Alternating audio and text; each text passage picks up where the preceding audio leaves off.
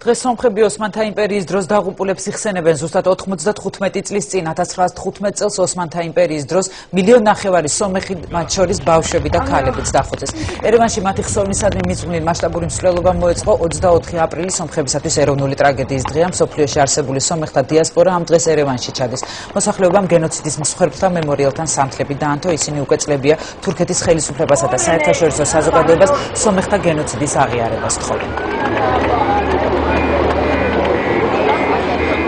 საქართველოს სომხობას ახსოვს სომეხთა გენოციდი, ახსოვს მილიონ ნახევარი სხვერპლი და ჩვენ ამ აქციით მოუწოდებთ სოფლიოს, თურქეთს და სოფლიოს სომხობას რომ დღეს გაერთიანდეს და მოითხოვოს თავიანთი ქვეყნებისგან სომხების გენოციდის აღიარება. ეს არის უზარმაზარი ადამიანური ტრაგედიის დღე, ძალიან მასშტაბური სისხლიანი ტრაგედიის დღე, რომელიც არის მე ვფიქრობ ეროვნულ მასშტაბებს გაცდენილი და საკაცობრიო მასშტაბი აქვს შეძენილი და 24 1915 წლის 24 აპრილს უამრავი სრულიად უდანაშაულო ადამიანი მოკლეს.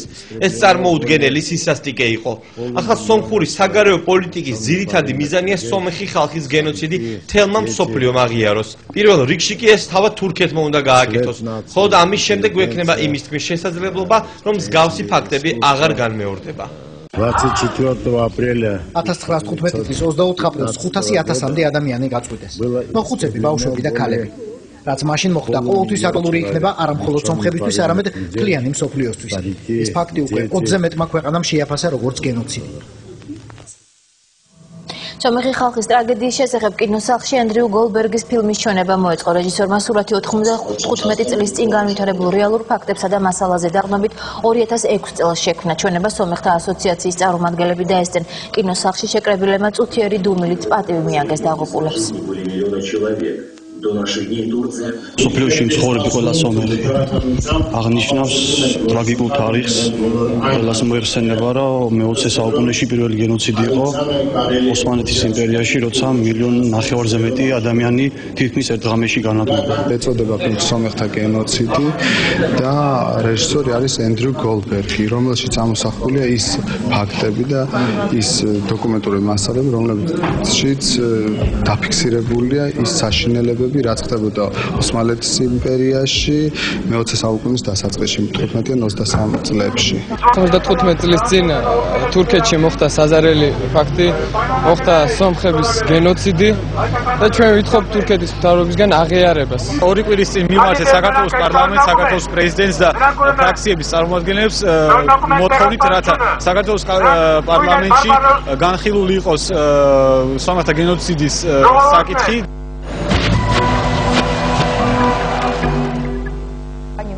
ვერ ქვეყანაში იხსენებენ დღეს სომხების მასობრივი მკვლელობის დროს გარდაცვლილებს.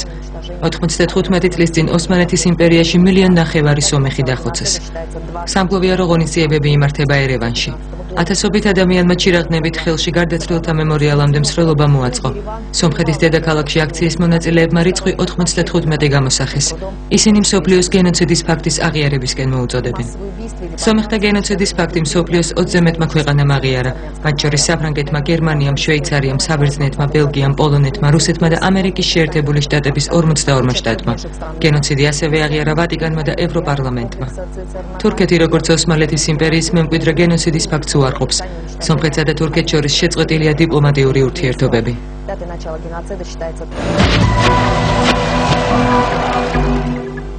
მთლიანობაში მილიონ ნახევარზე მეტი სომეხი დაიღუპა. საქართველოს სომეხთა სათვისტომოს წევრები აბლაბარში სომხურ ეკლესიაში შეიკრიბნენ და დაღუპულ სომეხთა სულის მოსახსენიებელ პარაკლის დაესწრნენ. სომხური ეკლესიიდან მათ თურქეთის ალჩოსთან გადაინაცვლეს, სადაც სომეხთა გენოციდის აღიარების მოთხოვნით აქცია გაიმართა. დღესვე კინოსახლში დოკუმენტური ფილმის ჩვენება გაიმართა საქართველოს სომეხთა სათვისტომოს თავმჯდომარის თქმით, სომეხთა გენოციდის აღიარების თხოვნით საქართველოს პარლამენტსა და პრეზიდენტს წერილით მიმართეს. 1915 году.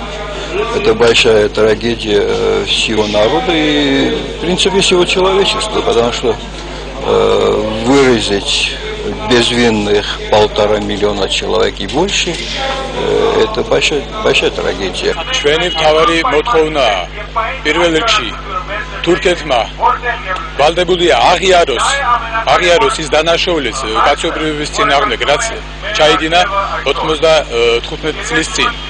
საყუველთაო სომხების აზრი არის ერთადერთი ის რომ გენოციდი მოხდა იმის გამო რომ სომხები არ იყვნენ მზად რომ შეეცვალოთ თავის თავიანთი სარწმუნოება და რომ ინტეგრირებული იყვნენ ოსმანეთის მუსლიმანურ პოლიტიკაში. დღეს არის უზარმაზარი ადამიანური ტრაგედიის დღე, რომელიც სცილდება სომეხიერის ტრაგედიის ფარგლებს და არის მართლა საკაცობრიო ტრაგედია. და მე ვფიქრობ 24 აპრილი ყველა ერისთვის, მთელი კაცობრიობისთვის რაღაცნაირად უნდა იყოს გაკვეთილი, რომ აღარასოდეს ესეთი ადამიანური ტრაგედიები, მასობრივი სისხლიანი კალოთი არ განმეორდეს. მე ამ შემთხვევაში თანაგრძნობას უცხადებ